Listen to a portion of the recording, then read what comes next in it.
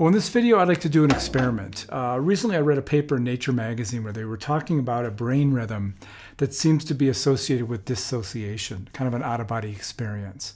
Uh, this paper, and I have a link below, talks about a three beat per second pulsation in the brain uh, connected to this dissociative state. And so I thought I would play at three beats per second and see what this feels like. Uh, best thing to do is close your eyes and just uh, let your mind drift. Focus on the rhythm and just see where you end up going with it. Do you feel dissociated from your body? Do you feel like you're having an out of body experience? I'm not going to play terribly long, so if you don't have a lot of experience with brainwave entrainment with the shamanic drumming technique, you may not feel very much with it because it does take a while to, to for your brain to entrain to it, especially if you've never encountered it before. The more you do this, the deeper you go, the faster it is. I'll put a link below here that I'll have a longer audio clip that you can play around with.